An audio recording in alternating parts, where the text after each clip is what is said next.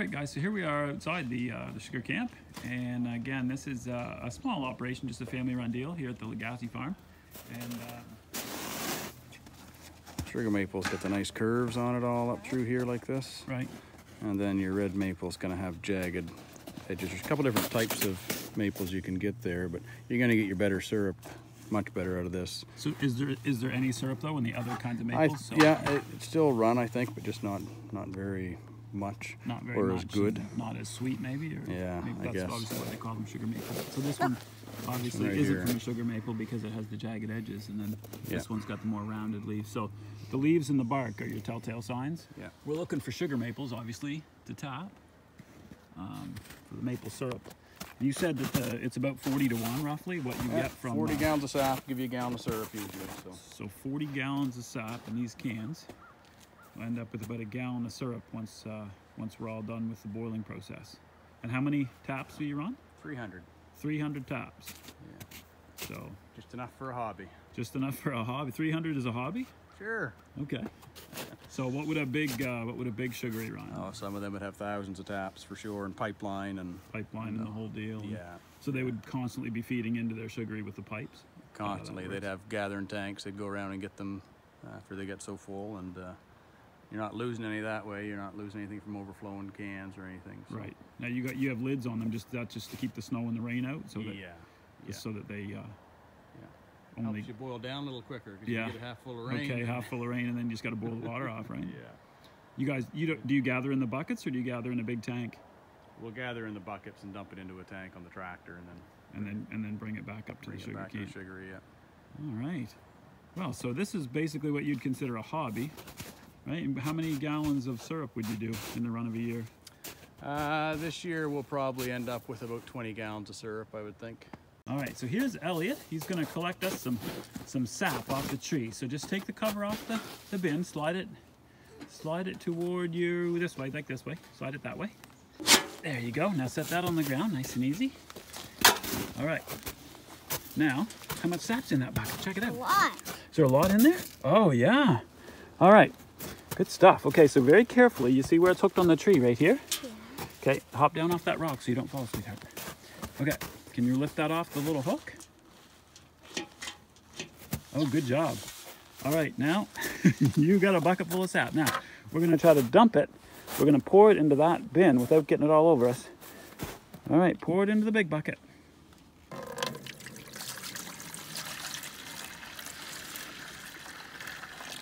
You get her all in there? Nice job. All right. Now let's see. You see our uh, this spile, this little spigot thing in the tree. It's still dripping some. So let's hook the bucket back on the hook. You want to go do another one? Sure, there's one right. Actually, there's two on this tree. All right, we're doing another one. Pull her off.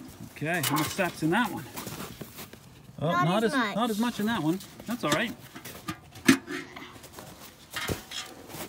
Good job. You might get hired.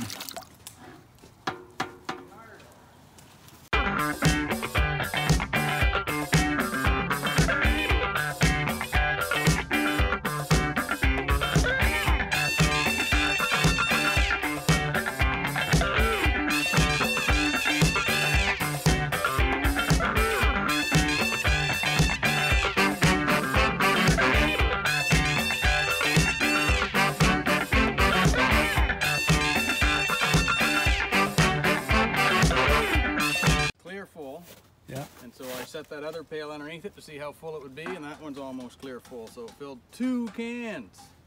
But this So- one wasn't running at all. The tree that's right that's beside clear. That, watch out. That's clear full, Elliot. That's overflowing. Oh. Holy moly. it's So this is clear, running. clear full. So you can see how much that's dripping right there. Look how I'm- fast that's dripping. That's almost like a tap. So they get into a main vein there somewhere. Yeah. Yeah, so You can See the sap a little darker now. Sap getting darker. Yeah, you're gonna get up a darker syrup and get a more robust maple taste as it gets a little darker. Is that because it's later in the season? Yeah. So you say the season's pretty much done here, right? This is uh, April 13th, and uh, season's pretty much over at this point. Is that weather dependent, or is that basically just Weather dependent for sure for your run, but then once the trees start to bud, then you're done anyway, right? what happens once the trees bud? Sap Uh, gets bitter. Yeah, it gets really bad. So. All right. Hey, this one has some more stuff in it. Yeah, you can dump it. This is the last. Uh, this is the last of the season for this uh, sugary, and we're picking up pails and we're gonna pull spiles. Now that Elliot's got some of the sap dumped out of these ones, we're gonna. They just uh, they just pull out apparently. Well, that's what they say. Oh sure. He said they just pull out and then I can't pull it out of the tree. Uh-huh. Oh yeah, sure. if you can pull this one out on this side, we're.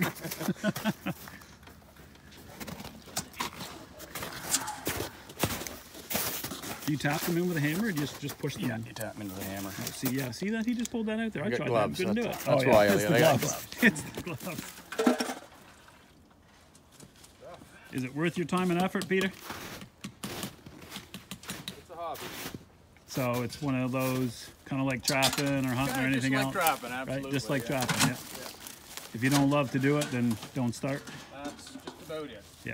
And You can always start with some in your front yard or whatever, but to get into a system where it's going to cost you thousands to do, Yeah. That evaporator in there is fairly expensive and yeah, you're not going to make you're not going to make much money on it. long time. I mean, you either it's kind of like a farm, right? You either got to go a humongous, big, all-out investment, or just dabble away at it in order to. Yeah, yeah, a lot of people just just do some stuff and just boil outside over an open Right. fire type thing, and Just enough for them themselves or family or whatever. And, but if you added all your time and all your all your work and everything else every year, it's then it's exactly like trapping. You're going. you're coming ahead. yeah.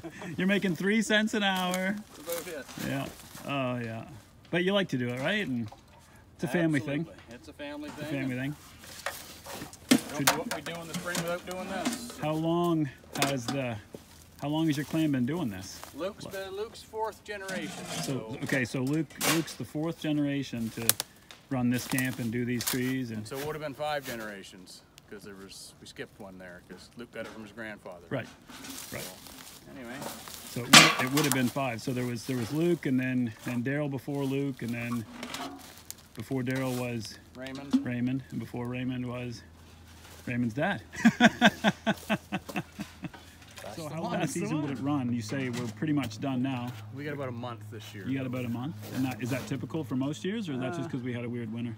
Just a different winter. We thought it was going to be a little bit better with the amount of snow we had, but Right. it's all weather, right? It's all weather dependent, Yeah. hot versus cold versus. We still got a lot of snow, but the trees are going to bud here this weekend probably. They're ready to sprout now. So. And then once the trees bud, we're done. and there's not freezing at night anymore, so So it helps to freeze at night and then thaw in the morning, and that Has- causes yeah, it has to.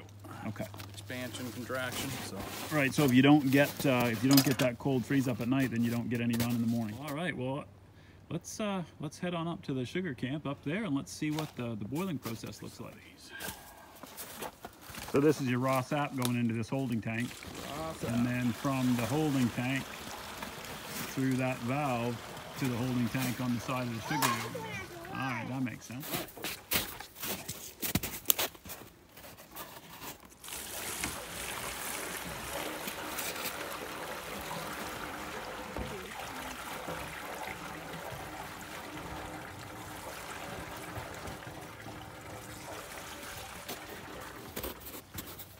like Luke's maple syrup. Luke's maple syrup. That's what his labels say. That's what his label say. Luke's maple syrup. Elsewhere, just make a